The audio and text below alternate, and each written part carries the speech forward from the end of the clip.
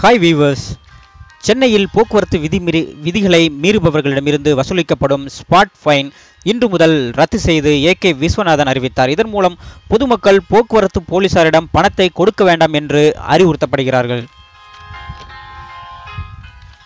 சென்னையில் போக்குவரத்து போலீசார் செக்கிங் என்ற முறையில் அத்துமீறி பொதுமக்களிடம் பணம் வசூலிப்பதாக ஆங்காங்கே புகார்கள் வருகிறது. மேலும் பொதுமக்கள் பல பேர்களிடம் கையில் பணமும் இல்லாமல் போய்விடுகிறது.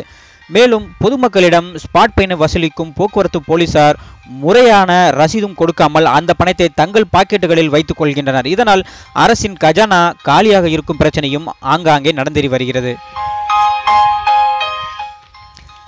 இந்த பிரச்சனையை சரி செய்யும் வகையில் மாநகர ஆணையர் ஏ கே விஸ்வநாதன் அந்த பழைய ஸ்பாட் ஃபைன் முறையை இத்து இன்றுடன் கேன்சல் செய்வதாக அறிவித்தார். இனி சாலை விதிகளை மீறும் பொதுமக்கள் அதற்கு உண்டான ஸ்பாட் ஃபைனை தங்களுடைய credit card debit card net banking Paytm e சேவை மையம் அல்லது போஸ்ட் ஆஃபீஸ்களில் செலுத்தலாம் என அறிவுறுத்தினார்.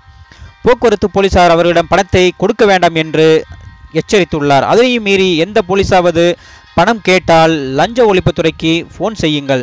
இந்த முறை தற்போது சென்னையில் முதன் முறையாக நாளை முதல் அமுல்படுத்தப்படுகிறது. எனவே இந்த வீடியோவை உங்களுடைய உறவினர்களுக்கும் நண்பர்களுக்கும் உடனே ஷேர் செய்யுங்கள். நன்றி வணக்கம்.